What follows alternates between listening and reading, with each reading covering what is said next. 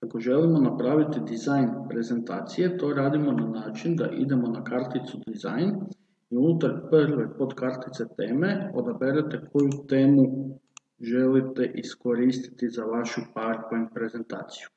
Odaberete neku od ponuđenih tema i isto tako sa strane imamo podkarticu gdje biramo koju varijantu želimo, znači različite boje, ali isto tako možete i birati kada stisnete ovdje na strelicu prema dole koju boju želimo da nam bude sama prezentacija, koja vrsta fonta, kakve efekte želimo da nam dolazi e, određeni slajd i imamo opciju background style gdje možemo si odabrati kakvu pozadinu samoga backgrounda želimo.